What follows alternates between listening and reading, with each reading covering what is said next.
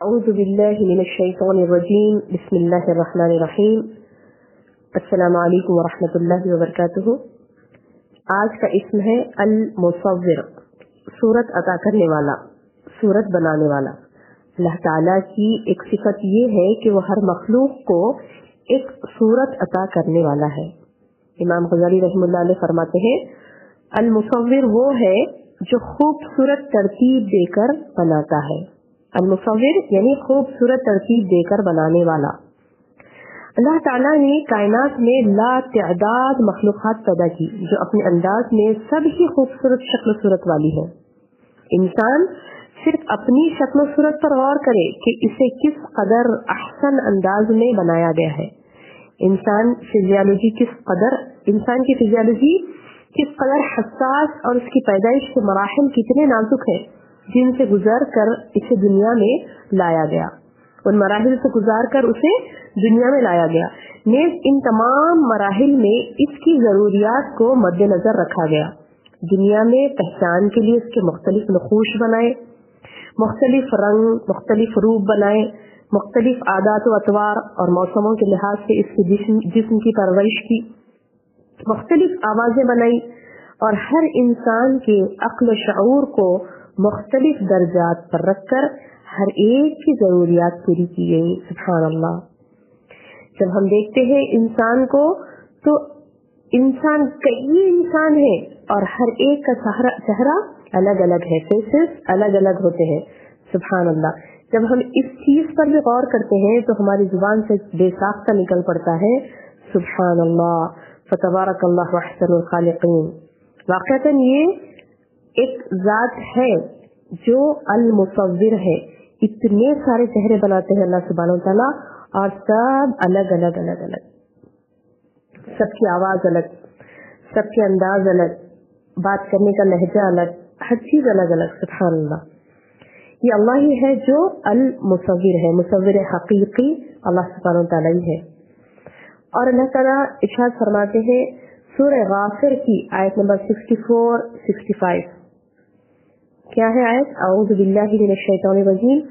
الله الذي جعل لكم الأرض قرارا والسماء بناء وصوركم وصوركم فأحسن صوركم. سبحان الله جاء فرمانه الله الله الله الذي جعل لكم الأرض. الله هي جسمي. تمہارے لیے زمین کو بنایا کیا بنایا قرارا. زمین کو قرار بنایا، ٹھہرنے کی جگہ۔ وسما بنا آسمان کو چھت بنایا۔ وصورکم فاحسن صورکم اور تمہاری تصویر کشی کی، تمہاری صورتیں بنائی۔ اس میں فاحسن صورکم بس اس نے بہت ہی بہترین تمہاری صورتیں بنائی۔ فرزقکم من الطیبات ذالکم اللہ ربکم فتبارک اللہ رب العالمین تمہیں پاکی کا رزق دیا، یہ ہے تمہارا اللہ جو تمہارا رب بھی ہے اور بڑا ہی بابرکت ہے۔ سبحان اللہ کتنی پیاری آیت۔ اس کے بعد فرماتے ہیں، هو الحي لا اله الا هو، فادعوه مخلصين له الدين الحمد لله رب العالمين هو الحي وہ کون ہے جو زندہ رہنے والا ہے؟ لا الہ الا ہو اس کے سوا کوئی معبود نہیں ہے، وہی معبود برحق ہے۔ فدعوه مخلصین له الدین بس اسی کے لیے دین خالص کرتے ہوئے اسی کو پکارو۔ الحمد رب العالمین۔ اور تمام تعریف اللہ رب العالمین کے لیے ہے۔ اور ایک جگہ اللہ سبحانہ تعالیٰ نے سورہ آل عمران آیت نمبر 6 میں فرمایا، هو الذي يصوركم في الارحام كيف يشاء لا الہ الا هو العزیز الحکیم وہی ہے جو رحموں میں تمہاری تصویر کشی کرتا ہے۔ ماؤں کے پیٹوں میں تمہیں جس طرح چاہتا ہے بناتا ہے۔ نہیں ہے کوئی معبود، مگر وہی غالب و حکمت والا۔ سبحان اللہ ہماری صورتیں بنانے والے کون ہیں؟ اللہ سبحانہ و تعالیٰ۔ اور فرماتے ہیں کہ تمہارے ماؤں کے پیٹوں میں جس طرح چاہے تم کو بناتا ہوں۔ اور اوپر سورہ غافر کی آیت آیتیں کتنی پیاری آیتیں ماشاء اللہ اس میں کیا فرمایا؟ اللہ نے، ہم زمین بنائے تمہارے لیے رہنے کا ٹھکانا آسمان چھت کے طور پر بنائے، اور تمہاری صورتیں بنائی، بہت ہی احسن صورکم۔ بہترین تمہاری صورتیں بنائی سبحان اللہ اور یہ المصور ہی ہے جو یہ کام کر سکتا ہے، خاص تصویر بنانے والا، اللہ کی ذات، المصور۔ اچھا یہی کام اگر کوئی مخلوق کرتی ہے تصویریں بنانے کی، تو آئیے دیکھتے ہیں اس کے تعلق سے اللہ نے کیا فرمایا۔ یہ کام چونکہ وہ مصور حقیقی ہی کر سکتا ہے، دوسرا نہیں کر سکتا۔ یہی وجہ ہے کہ اللہ سبحانہ و تعالیٰ نے اپنے بندوں پر حرام قرار دیا ہے کہ وہ زیرو چیزوں کی تصویریں بنائیں۔ اللہ سبحانہ تعالیٰ نے حرام قرار دیا ہے اپنے بندوں پر کہ وہ زیرو چیزوں کی تصویریں بنائیں۔ کیونکہ اس میں خالق کی مشابہت ہو جاتی ہے اور اس سے شرک و ضلالت کا دروازہ کھلتا ہے۔ چنانچہ حضرت ابو حریر رضی اللہ سے روایت ہے کہ رسول اللہ صلی اللہ علیہ وسلم نے فرمایا، قال اللہ تعالی، حدیث قدسی ہے، قال اللہ تعالی، اللہ فرماتا ہے، ومن اظلم ممن ذهب يخلق كخلقي فليخلق ذرة او ليخلق حبة او ليخلق شعيرا اللہ تعالیٰ کا ارشاد ہے، اس سے بڑا ظالم کون ہوگا جو میرے جیسی مخلوق بنانے کی کوشش کرتا ہے؟ یہ لوگ ایک ذرہ، ایک دانہ، ایک جو ہی بنا کر دکھلائے یہ صحیح بخاری کی حدیث ہے۔ اور سیدنا عبداللہ بن مسعود رضی اللہ عنہ بیان کرتے ہیں کہ میں نے رسول اللہ صلی اللہ علیہ وسلم سے سنا کہ آپ فرما رہے تھے إن أشد الناس عذابا عند الله يوم القيامة المصورون إن أشد الناس عذابا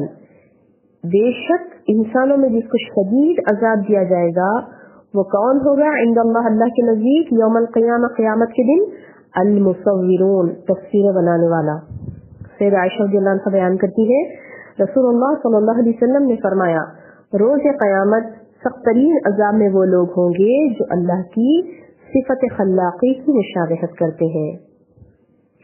کئی ایسی حدیث ہیں اور ایک جگہ فرمایا، سیدنا عبداللہ بن عمر رضی اللہ عنہ فرماتے ہیں، رسول اللہ صلی اللہ علیہ وسلم نے فرمایا، جو تصاویر بناتے ہیں، روز قیامت انہیں عذاب دیا جائے گا اور کہا جائے گا کہ تم جو تم نے پیدا کیا ہے نا، اسے زندہ کرو۔ جو تم نے پیدا کیا ہے، اسے زندہ کرو۔ یعنی جو تم نے تصویر اتاری ہے اسے زندہ کرو۔ اس حدیث میں مصور کو روز قیامت جو سزا ہوگی، اس کی وضاحت ہے کہ اسے مکلف کیا جائے گا کہ اس تصویر میں روح پھوٹے وہ ایسا تو نہیں کر سکے گا۔ اور لہٰذا اسے مستقل عذاب میں ڈال دیا جائے گا۔ اللہ اکبر۔ اللہ مجید من النار۔ اللہ ہمیں دوزخ کی آگ سے محفوظ رکھے۔ ہم کتنی آسانی سے کوئی بھی زندہ چیزوں کی تصویریں بنا ڈالتے ہیں۔ بیٹھے بیٹھے ہمارا قلم گھوم جاتا ہے اور ہم زندہ تصویریں کوئی برڈ اتار دیے، کوئی کسی قسم کا کوئی بھی پرندہ یا جانور کی تصویر اتار دیے۔ لفظ زی روح اشیاء کی تصویر بنانا حرام ہے، حرام۔ کیوں؟ کیونکہ المصور ہی یہ حق رکھتا ہے کہ وہ بنائے۔ اللہ بناتا ہے تو اللہ ہی یہ حق رکھتا ہے کہ وہ تصویریں بنائے، صورتیں بنائے۔ یہ کوئی انسان کو، کوئی انسان کو اس چیز کی اجازت نہیں، جیسے ہمیں اتنی ساری حادث پڑھی ابھی۔ ان تمام حدیثوں میں یہی کہا گیا کہ اللہ کی ذات المصور ہے۔ اگر کوئی یہ کوشش کرتا ہے تصویریں بنانے کی، تو اللہ تعالیٰ اسے سخت ترین عذاب دے گا۔ اللہ محفظنا اللہ ہماری حفاظت کرے اور ایسی چیزوں سے اللہ ہم کو محفوظ رکھے۔ تو ابھی سمجھ رہا ہے کہ المصور کیا ہے۔ دیکھیے ان تینوں اسماء گرامی۔ یعنی خالق باری مصور. الخالق الباری المصور. یہ تین اسماء گرامی کی تقسیم یہ ہے کہ لفظ باری اللہ کے ساتھ مخصوص ہے، غیر اللہ کے لیے بولنا جائز نہیں ہے۔ لفظ باری. باری غیر اللہ کے لیے بولنا جائز نہیں کیوں؟ اس کا معنی ہے عدم سے چیز کو وجود میں لانے والا۔ یہ صرف اللہ ہی کر سکتے ہیں۔ جیسے میں نے اس سے پہلے بیان کیا، آپ کو عدم سے یعنی شروع سے جس چیز کی مطلب پیدائش اللہ سبحانہ تعالیٰ کرتا ہے، وہ ہے الباری، شروعات۔ شروعات سے کسی چیز کو وجود میں لانا؟ عدم سے چیز کو وجود میں لانے والا صرف اللہ ہے۔ خالق بھی اگر بغیر نسبت کے بولا جائے تو رب ہی مراد ہوتا ہے۔ یعنی الخالق کہتے ہیں تو وہ رب ہے۔ اس طرح مصور بھی بغیر نسبت کے بولا جائے تو یہ اللہ کے لیے خاص ہے۔ جیسا کہ اللہ تعالیٰ کا فرمان ہے الخالق الباری المصور الفلام جب لگ جاتا ہے تو یہ خاص اللہ کے لیے ہے۔